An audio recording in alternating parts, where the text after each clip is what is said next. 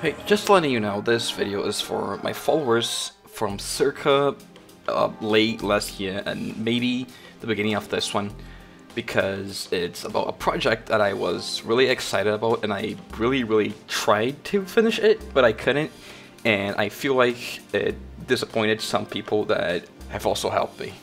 So this is about the video essay, the really really in-depth video essay I was going to do about Silent Hill 4. That's a game. That's a game. Uh, you y'all know you know.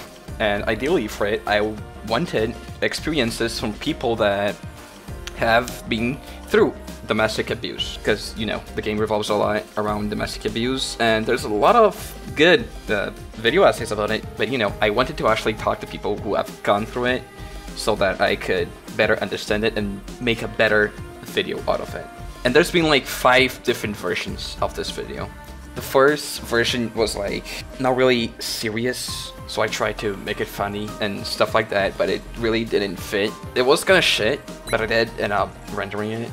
But I didn't like it, so I didn't post it, and then I, scra uh, I scratched it all and started it from the beginning. You know, the usual, right? And I've done that with four other versions because they all didn't feel right. I really didn't feel like editing the video if I was down, so I always edit it whenever I felt like it and that hurt production a lot because I was barely touching it. I was mostly streaming and making, you know, short content, funny videos. So I just wanted to thank everyone who actually messaged me.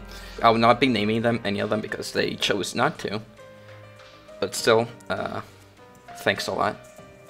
The video we're watching in the background is actually, you know, gameplay that I recorded and it was a lot actually. That is also the you know my third walkthrough of the game because I've played the game twice before actually recording it. I also included clips from the stream because I also streamed the game like way back then, like literally a year ago, right? Chat is is that something good? What the fuck is that? Sorry for you know not doing the video.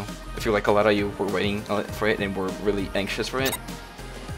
But yeah, I ended up just giving it up because that's what you do sometimes. Of course, always make art, but sometimes you just need to let things go. I love you. Bye-bye.